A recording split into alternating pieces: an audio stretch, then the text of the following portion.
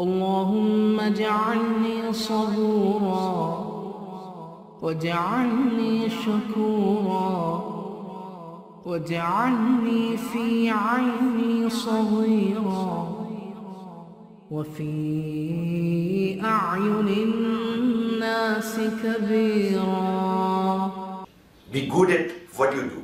In every field of work, the most highly regarded people are those who are the best at what they do. Everyone loves competent people, especially those who present their best work all the time. Respect others. Respect is two-way. If you want others to respect you, you have to respect others first. Honor what you say. No one likes a dishonest or unreliable person. I believe integrity is the first step to being your higher self. You always ensure you live up to your commitments and deliver beyond what you promise. Be open to criticism. Contrary to popular belief, being respected doesn't mean you won't receive criticism. In fact, it's quite the opposite. The more known you are in your work, the more criticism you are likely to receive. People respect someone who is able to handle negative feedback and turn it into something positive. Treat yourself with respect. Act with utmost respect towards yourself. Your study habits, what you do with your spare time, what outside interests you have, and many similar factors reveal what you think about yourself. If you don't respect yourself, you can't hope to get respect from others. Start off by loving yourself. The love from others will come automatically and subsequently. Conduct yourself professionally.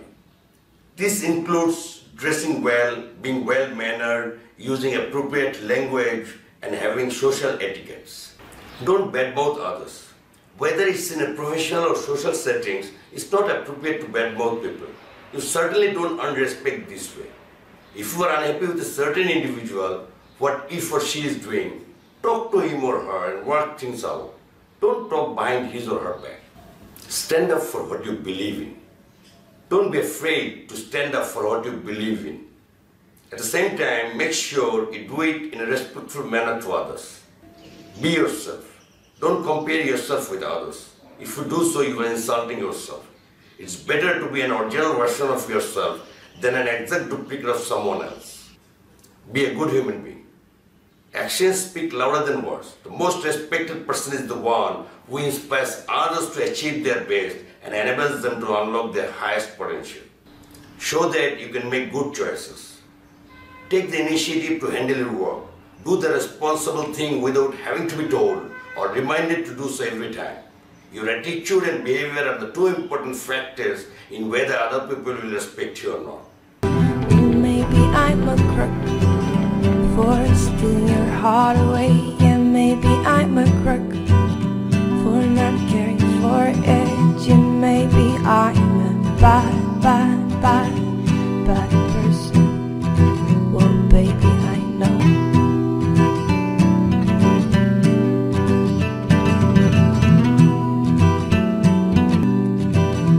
So I think it's best we both forget before we dwell on it. And we're gonna let it